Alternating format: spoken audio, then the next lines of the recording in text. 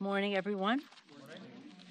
It's a, it's a wonderful morning. We had such a good day in the Congress yesterday. I want to salute my caucus for the commitment to values that they demonstrated in accepting the president's budget, the uh, uh, Build Back Better initiative. Uh, the again, it was a team effort for us to win the vote. I want to salute Steny Hoyer, our distinguished Majority Leader, Mr. Clyburn, our distinguished Whip, Catherine Clark, Assistant Speaker, and all of the members of the leadership who worked so hard uh, on this. Uh, because it wasn't just about that vote, it's about how we proceed and make it the law uh, within the next uh, couple of months, six weeks, whatever.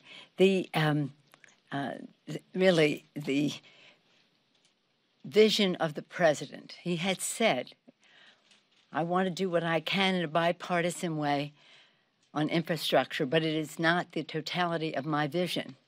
My vision is to build back better, not only with physical infrastructure, but with the personal infrastructure. I'm paraphrasing now, that wasn't a direct quote. And so in our legislation, we deal with uh, the climate crisis in a, in a, more important way. We will deal with the uh, building back better for women when they were talking about child care and child tax credit, pre, uh, universal pre-K, home health care, and uh, workforce development. These are not just about women, but women will predominantly benefit because women predominantly bear the responsibility for many of those uh, uh important uh, priorities in our society. So I'm really very, very excited. I always had confidence. I never doubted that we would that it would the president's budget would prevail because of the commitment that our caucus has to America's working families. That is what unifies us, whatever our differences at the end of the day. Um, our commitment to America's working families is the unifier. So people say to us, well, you keep them together. No, our values keep the House Democrats together. So I'm excited, uh, very much excited about that. What also happened yesterday was historic. We passed the Voting Rights Act on the floor of the House.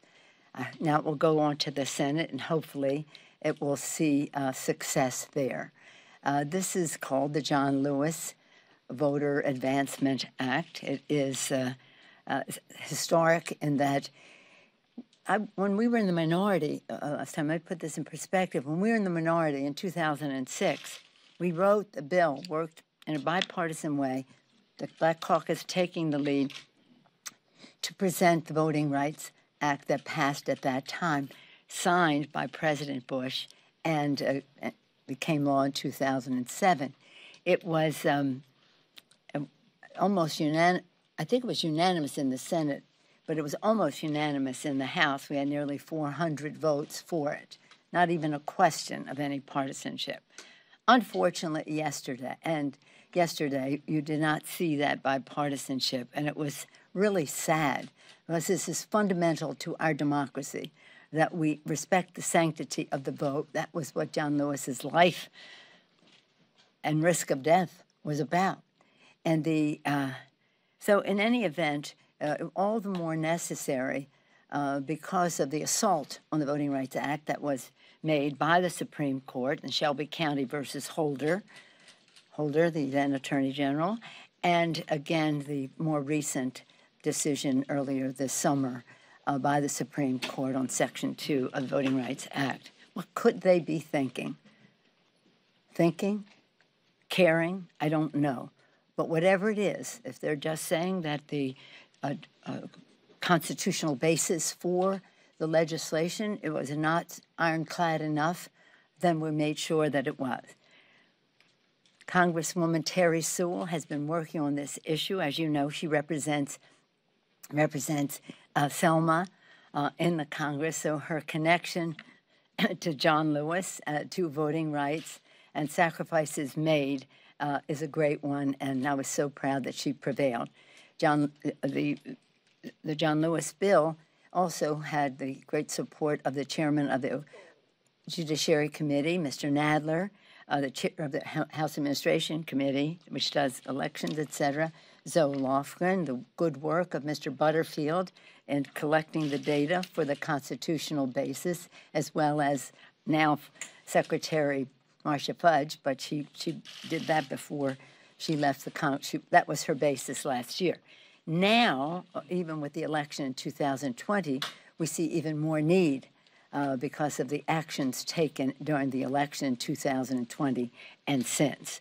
And all the more need, not just for H.R. 4, but for H.R. 1, now S1, uh, in the Senate. Uh, the suppression of the vote uh, is, is uh, not only the suppression of the vote, the nullification of elections that they are putting forth.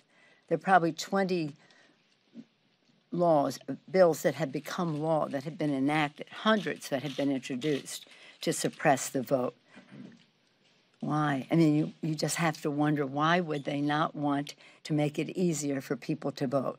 Just because they want to suppress the vote uh, among people of color, uh, they are also suppressing the vote for everyone else by their, again, suppression of number of polling places, hours that are there. The list goes on and on. So we're very optimistic about what we said in our preamble. We the people. It has to be the people doing this, and over time, over time, uh, there has been there efforts to expand freedom, and now the Republicans want to contract freedom.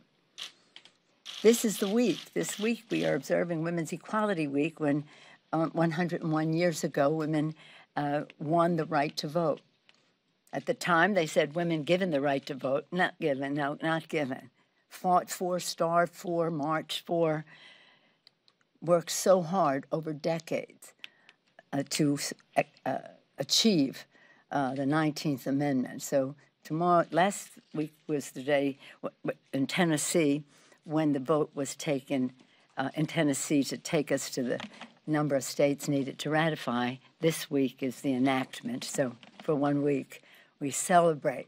But as we celebrate, we have to protect the, not the vote, not only in terms of ending suppression, but ending nullification. Martin Luther King, Reverend King, he talked about nullification. The I Had a Dream speech. So this is something that has been there in their Jim Crow world that they want to resurrect. So again, I salute uh, uh, Terri Sewell. I salute all who have worked on the legislation. Steve Cohen, whose committee put forth the subcommittee put forth the legislation last week. The, we, the list goes on. While we were uh, presenting our press conference on it yesterday, we had the honor of the presence of the legislators from Texas there, who are seeing firsthand uh, the uh, brutal attempts to suppress this, the vote in their states. We were honored by their presence, inspired by their courage, and determined uh, to get this to become the law of the land. I talked about how proud I was of my caucus and their commitment to America's working families, and uh, I just want to talk about what where we go next. Uh, we now are in we have been for a while, but now coming uh, to closure on some of the uh, particulars within the bill. The president and the Senate sent us a legislation about a budget resolution for $3.5 trillion. Uh, it, within it are some of the things I talked about before that relate to workforce development, uh, building back better with women in the workplace, addressing the climate crisis in a way that was not addressed at all in the uh, infrastructure bill, very minor, just electrification, and just other. Electrification is important, but it is not the totality of what we have to do, and we may want to do more. The um, so we had at our caucus a couple days ago. What's today? Wednesday, yeah, Monday. The uh, chairman once again presenting uh, what the uh, debate will be in their committees what the priorities are. We, our goal is by September 15th that we will have every committee reporting. Now, what was important about yesterday is you can, we could do all of that. We could mark up bills, but we could not report to the Rules Committee, excuse me, to the Budget Committee without passing a budget bill. And a budget bill that retains the privilege of 51 votes in the Senate. That's why yesterday was fraught with so much meaning to protect the privilege of 51 votes, enabling in a timely fashion the committee's report. So the, the, the members have now have on the ongoing, but continue to be alerted to make their voices heard in terms of the substance in the bills and the pay for it, because we want to pay for this bill. I'd like to have it totally paid for. We'll see what is possible. Uh, the Ways and Means Committee under Richie Neal uh, has been working with the Senate and and others. I won't go into his uh, connect his context, but uh, uh, so members are making their views known on what the pay fors can be, and that some some are new, some are um, pretty standard fare, but it's a question of how much. So that's what will be happening, and some committees will be marking up before September 15th, but everyone by September 15th, we write a bill with the Senate because it's no use our doing a bill that is not going to pass the Senate in the interest of uh, of uh, getting things done, results, getting results. So we don't want to go as slow as the slowest ship, but we also don't want to uh, uh, underutilize any resource, and the resource would be what the what the Senate rules will allow to proceed. It's pretty exciting. It's pretty exciting, and it, again, it goes back to the vision of the president a vision that he discussed in his campaign, uh, that he made known in his uh, State of the Union. You know, people ask me, I, I, bring this up because it's Women's Equality Week. The, uh, at the State of the Union, there were two of us, um, very distinguished Vice President Kamala Harris, of whom we're very, very proud, especially as Californians, but nonetheless, the country very proud. And people asked me afterward, how did it feel to be up there with two women standing behind the president in the State of the Union? And I said, well, it, was wonderful, yeah, but what was even more wonderful is that the president's speech was about advancing women in the workplace, child care, family medical leave, uh, uh, child tax credit, all of those things, workforce development, pre, uh, universal pre K. It was a speech that not only had the fact that two women were there, but that all women would be served in a very positive way as we go forward. It's transformational. The amount, the priorities, the amounts, and the rest. It's transformational. So we want to we want to get that done. Again, I want to salute the caucus because they always make me proud and once again, they did yesterday. I always have confidence in what they're going to do. The uh, I you about the floor recap and the rest. Uh, the um, go back better. Okay, so right now uh, we continue to have the challenge of COVID. As you know, the variant is uh, uh, the Delta variant uh, is threatening. It, I salute the FDA. Janet Woodcock did a wonderful job bringing this uh, full approval forward in a timely fashion, respecting all of the scientific requirements that are there. And now that we have the full approval for those who were reluctant because it didn't have full approval, and those organizations who did not feel that they could require the vaccine until there was full approval, uh, hopefully that will give us some more momentum. As children go back to school, this is really important that adults who can't, people of 12 and over, I've got adult, my grandchildren, that, that, that they will be uh, vaccinated uh, so that they don't put younger children at risk until there can be approval for vaccine for them. But anyway, in the meantime, let's just let's just crush this virus, and people have to know that as it spreads, that's a way for it to mutate, and that we don't need another variant, but we always have to be prepared. So I, I congratulated the president yesterday on the fact that uh, the, the, the vaccine had now received full approval. And again, very important for some of what we have in the rescue package at the beginning of the year to take effect in the schools for distancing and ventilation and, and uh, way other safety precautions for the children.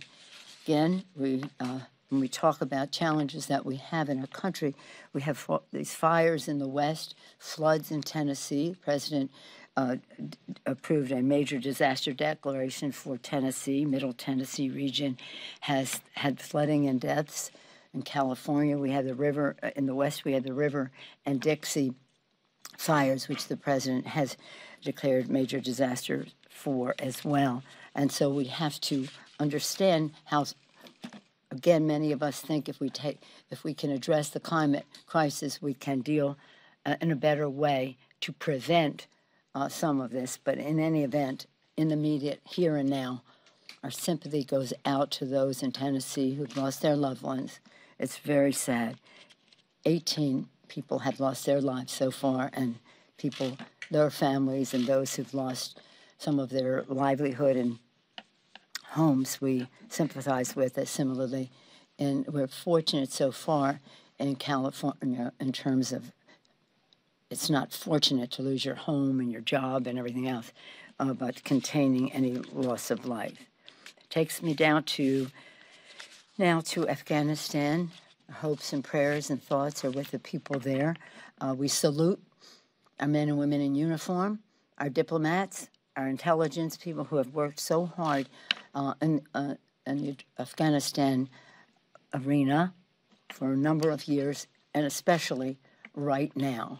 Uh, again, I salute my members. Uh, uh, Jason Crow taking the lead on legislation, allies, and hope that uh, that uh, to help those who helped us, and hopefully as many of those people will be uh, evacuated as possible. Hopefully all, but this is a, a, tragic situation. I've been there eight or nine times, okay, and most of the time we visited women in the hinterlands. We would go on Mother's Day under the leadership of Susan Davis, our former colleague, and uh, we would want to um, just see, not, with all the respect in the world for all the women who advance as judges and doctors and heads of universities and uh, leading figures, we also were visiting the poorest of the poor women and seeing what their aspirations were for their daughters to, to be able to go to school and the rest. So we've changed Afghanistan in that respect, and that women have seen the light of day, but now that is under threat.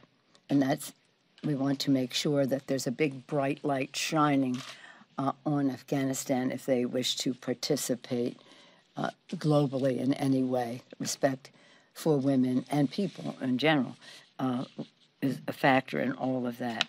So with that, I'll take a question. Madam Speaker. Uh, when did you learn that Congressman Moulton and Congressman Meijer had traveled to Afghanistan? And, and is that what prompted your letter instructing members not to travel to the region? When did I learn? Uh, around the same time, a little bit before it was in the public domain. I'll tell you why um, it wasn't in the public. we didn't make it known because it would be dangerous for them.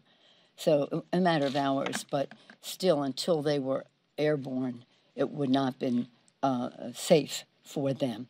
Uh, the Secretary of Defense, Secretary of State, th- there's a real concern about members being in the region, and so uh, with the shall we say, uh, shall we say, knowledge of the Secretary of, the, of Defense as to what the risk would be to these members, A, the resources necessary to facilitate their visit and to protect them was an opportunity cost of, of what we needed to do to be evacuating as many people as possible. So it's not just about them going to Afghanistan, but them going to the region because there's a call on our resources diplomatically, politically, uh, militarily, and the rest uh, in the region as well. So this this is deadly serious. We do not want members to go. So you're disappointed in them specifically? You wish they hadn't gone? I haven't heard what they're, you know, in other words, let me just say, I think my letter speaks for itself in terms of you sh- people shouldn't be going there. Madam Speaker. Madam Speaker. Yes, ma'am. Well, just on that front, I mean, have you spoken to them since their No, I haven't. I don't know. I guess they're back now, are they? I haven't spoken to them since, no. Do you see their trip as a distraction? I don't think this is so much of a distraction. the point is, is that we didn't want anybody to think this this was a good idea and that they should try to follow suit. Uh, again, I haven't. I've been busy. It's an important thing. We wanted to make sure they were safe for themselves, but also for what consequences could flow, a ramification if something happened to them uh, while they were there. So they have to make their own case as to why they went and this or that.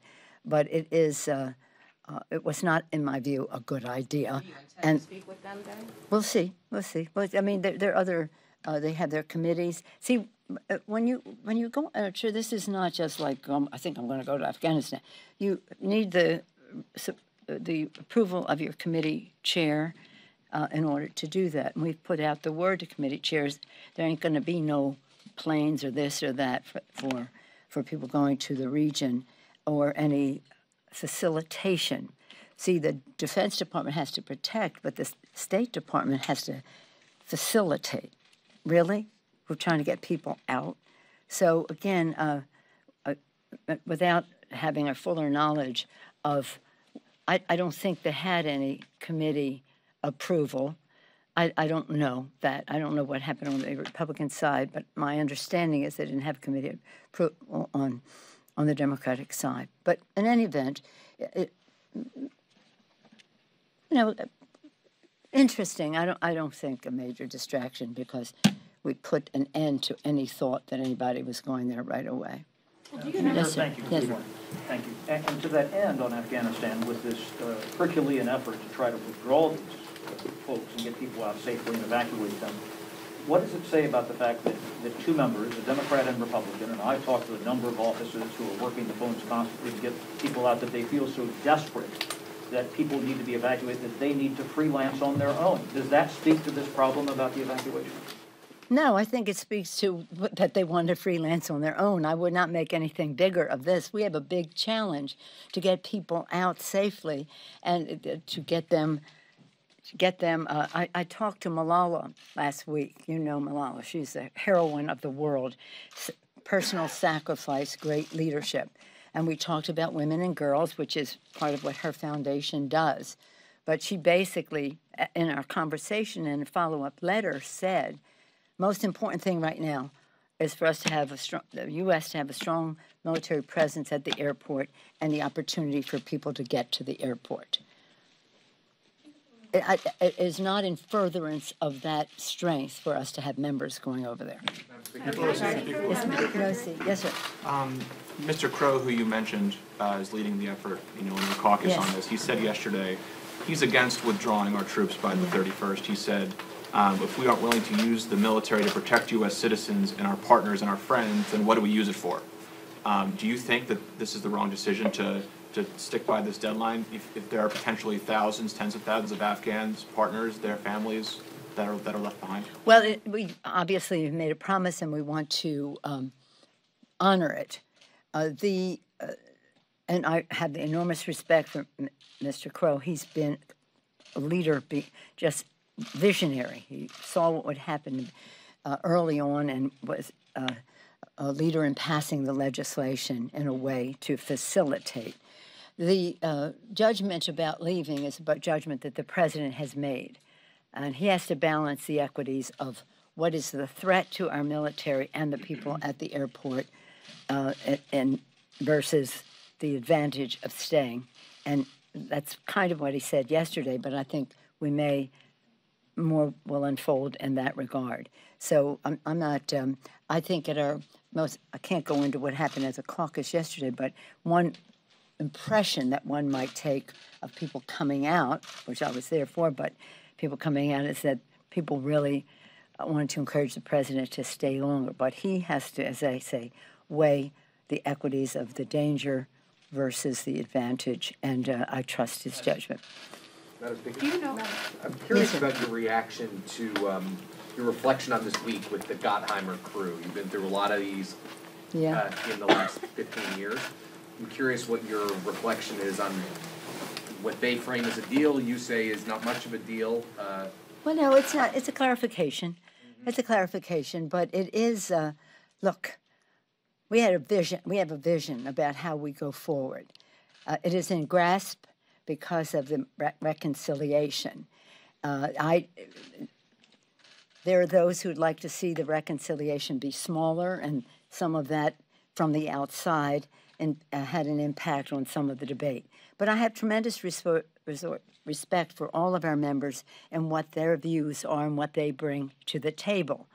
And what, at the end of the day, what had to prevail was the president's vision and the, and the needs of America's working families, and they saw that. Uh, we would have had to pass the infrastructure bill by October 1st anyway, by September 30th anyway, because uh, the authorizations expire and, and uh, for highway and all, some of the things in the bill. And uh, so we're talking about a couple of days earlier. But again, uh, their participation was constructive. I welcome it. And I was pleased that we were able to get 100% of the Democrats to vote. And again, let me take it back to our colleagues. The steam that was in our caucus was to get this done for the president, for the American people, for America's working families. And our unity, as I always say, our diversity is our strength, our unity is our power. We had our diversity, we had our discussions, we're respectful all around, and our unity was our power. You say it? That's it. Thank you all very much. Thank you.